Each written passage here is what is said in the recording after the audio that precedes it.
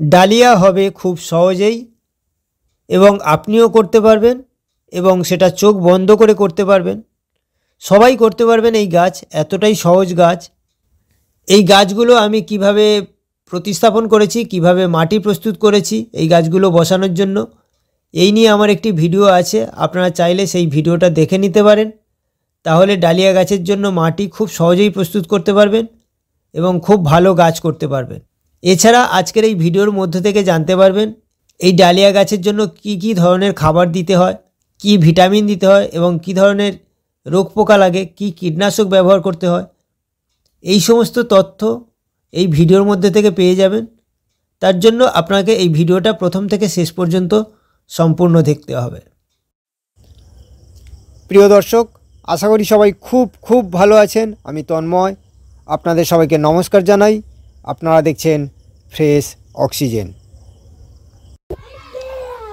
এই ডালিয়া গাছগুলো আমি কীভাবে প্রতিস্থাপন করেছি, এই ভিডিওটা আমি দেখিয়েছি সবাইকে, কীভাবে ডালিয়া গাছে প্রতিস্থাপন করেছি আর এই ডালিয়া গাছের জন্য কী ধরনের মাটি প্রস্তুত করেছি, এই সমস্ত তথ্য ডালিয়া গাছের যে একটা প্রতিস্থাপন আমি করেছি, সেইটা দেখলে আপনারা বুঝতে পারবেন যে ডালিয়া গাছের জন্য কী ধরনের মাটি করলে খুব ভালো ডালিয়া গাছ করা যায়। আর এই ডালিয়া গাছগুলো বসানোর পরে আমি এই গাছে সরিষার খোল পচা জল দিয়েছি, সপ্তাহে দুবার, একদম পাতলা করে। সরিষার খোল পচা জল কতটা পাতলা করতে হয়, কী রকম পরিমাণে দিতে হয়, এই নিয়ে আমার একটি ভিডিও আছে। আপনারা চাইলে সেই ভিডিওটা দেখে নিতে পারেন, সরিষার খোল কতটা পাতলা করে গাছে দিতে হয়। এছাড়া আমি এই গাছগুলোতে দিয়েছি হাফ চা চামচ ডিএপি দিয়েছি একবার দিয়েছি গাছগুলো বসানোর পর থেকে একবার মাত্র ডিএপি দিয়েছি, হাফ চা চামচ। এরকম ছোট্ট একটি চামচ, চা চামচ। এই চামচের হাফ চা চামচ আমি ডিএপি দিয়েছি।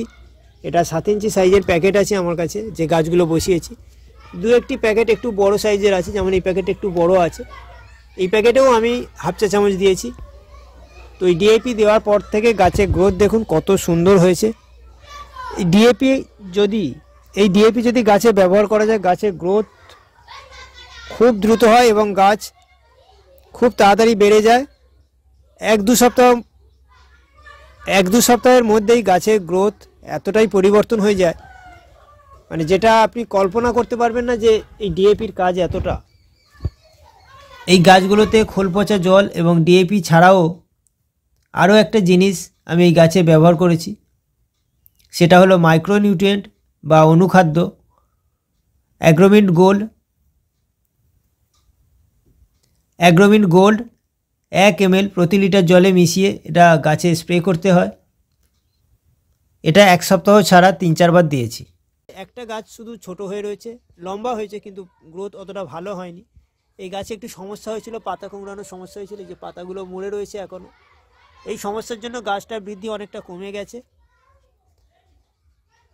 আর আমি এই গাছে এই পাতা কুমড়ানোর জন্য কোনো কীটনাশক ব্যবহার করিনি তাতেই ছেড়ে গেছে। কিন্তু আমি ভয় পাচ্ছিলাম, হয়তো রোগটা ছাড়বে না। কিন্তু সেরে গেছে রোগটা। কিন্তু গাছের গ্রোথ অতটা ভালো হয়নি। যদি এরকম পাতা কুমড়ানোর সমস্যা হয়, আপনারা কনফিডার ব্যবহার করতে পারেন। এক এম প্রতি লিটার জলে মিশিয়ে। সেই জল যদি গাছে স্প্রে করা যায়, এরকম পাতা কুমড়ানোর সমস্যা সেরে যায়। কিন্তু আমার লাকিলি কোনো কীটনাশক ব্যবহার ছাড়াই কিন্তু আমার এই সমস্যাটা চলে গেছে। এই গাছগুলো যখন ছোট ছিল, ছোট অবস্থায় ম্যাপ পোকা বা লিম মাইনারের উপদ্রব হয়েছিল, সেই সময় আমি কাকা ব্যবহার করেছি। কাকা দু এম প্রতি লিটার জলে মিশিয়ে যদি গাছে স্প্রে করা যায়, তাহলে লিম মাইনার বা ম্যাপ পোকা, এছাড়া লেদা পোকা, জাপ পোকা, এই সমস্ত ধরনের রোগ পোকা কিন্তু আর হয় না। এই সমস্ত রোগ পোকা নির্মূল হয়ে যায়, কাকা ব্যবহার করলে। কারোর ডালিয়া গাছ যদি খুব ছোট হয়ে থাকে, হয়তো দেখছেন যে বৃদ্ধি হচ্ছে না, খুব ভালো। তো আমি আপনাদের বলব, যদি ডিএপি হাফ চা চামচ, এরকম ছোট সাইজের প্যাকেট, এটা সাত ইঞ্চি সাইজের প্যাকেট আছে। এই রকম প্যাকেট বা সাত ইঞ্চি সাইজের টবের জন্য যদি হাফ চা চামচ ডিএপি ব্যবহার করেন, তাহলে কিন্তু গাছের গ্রোথ খুব তাড়াতাড়ি হবে। এক দু সপ্তাহের মধ্যে আপনি গাছের পরিবর্তন লক্ষ্য করতে পারবেন। এরকম একটা ছোট্ট চামচ নেবেন, এরকম চামচের হাফ চা চামচ ডিএপি দেবেন।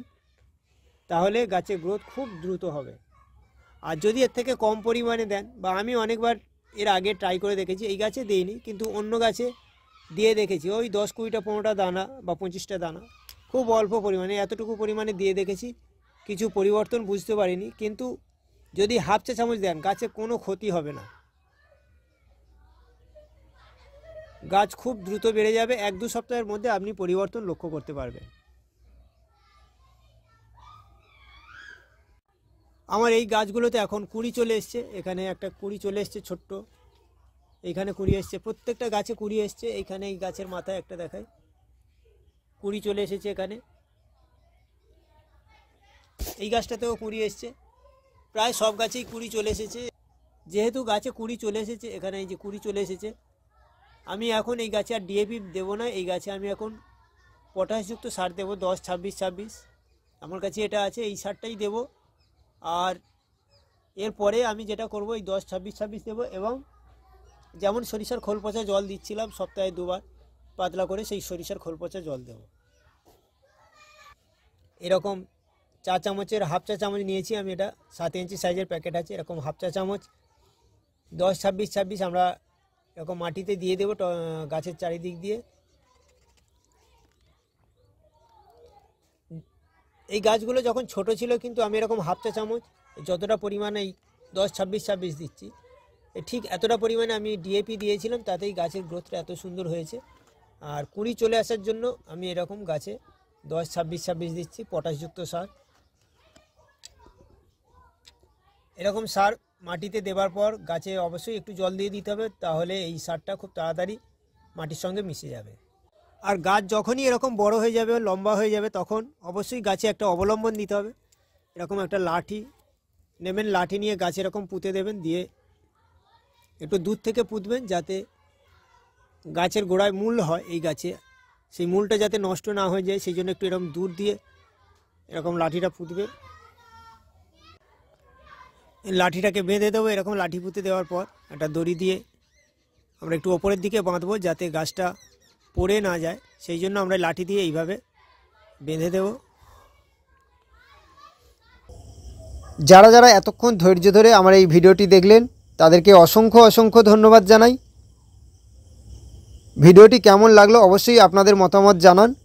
যদি ভিডিওটি ভালো লাগে, তাহলে প্লিজ প্লিজ লাইক এবং প্রিয়জনদের মধ্যে শেয়ার করবেন। আর সবাইকে আরও বেশি বেশি করে গাছ লাগাতে অনুপ্রাণিত করবেন। এই আশা রাখি। সবাই সুস্থ থাকুন, ভালো থাকুন। আবার আসব নেক্সট কোনো ভিডিও নিয়ে। আজকের মতো এই পর্যন্ত ধন্যবাদ।